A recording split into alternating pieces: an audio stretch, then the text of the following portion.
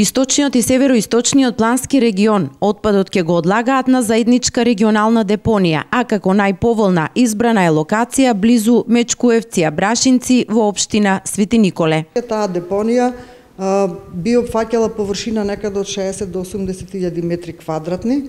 Локалитетот е избран помеѓу 16 понудени посебни други мислам локалитети од страна на општините и регионите. Сите беа анализирани врз база на одредени критериуми како што е ненарушување на пределот, оддалеченост од населени места, да не се нарушуваат некои седишта за значајни видови животни растенија, да не се гледа директно од пат, на пример, од пристап. Значи, многу критериуми беа земени во предвид, кои што се за вклучување на една локација или за исклучување и врз база на сите тие анализи се одлучи дека таа локација, идната депонија за двата региони сега веќе одиме заедно, ќе биде во овој локалитет Мечкуевци Арбашанци.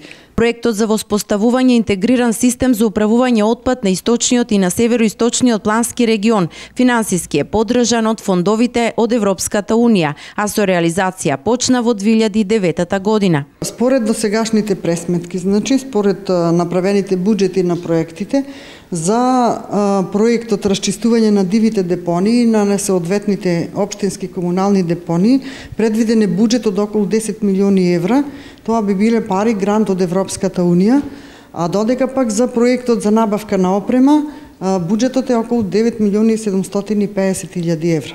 Значи исто така и овие пари се грант со тоа што за преодниот период предвидени се одредени и средства, возила кои што би биле дадени на општините за да можеме да го премостиме тој преоден период од сегашнава состојба до идниот регионален систем за управување со отпад. А што се однесува пак до изградба на идната инсталација за преработка на отпад и на идната регионална депонија, како и овие шест претоварни станици за двата региони, таму буџетот би бил негде околу 14 милиони евра за завршување на тој целиот систем.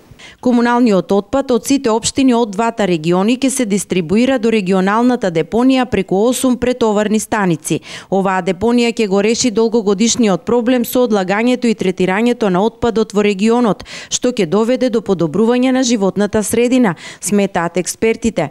Претоварните станици ќе бидат лоцирани на места каде нема да имаат негативни влијанија врз околината. Во предлог програмата за регионалната депонија стои дека претоварни станици ќе има во Берово, Македонска каменица, Кочани, Штип, Ранковце, Пробиштип, Куманово и Свети Николе, локации кои од централната депонија се оддалечени до 50 километри.